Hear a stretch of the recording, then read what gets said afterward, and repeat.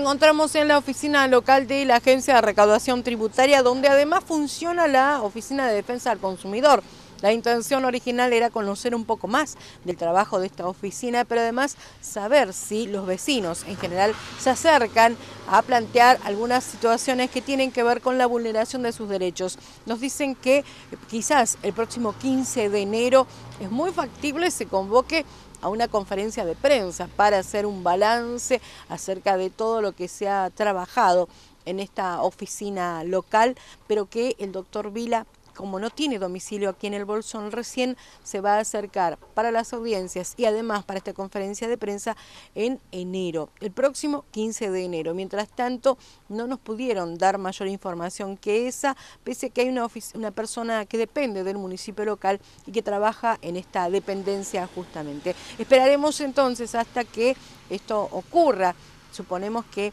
el 15 de enero, entonces deberíamos tener acceso a este tipo de información para saber un poco más del funcionamiento de la Oficina de Defensa al Consumidor, que es un área tan sensible a todos los vecinos.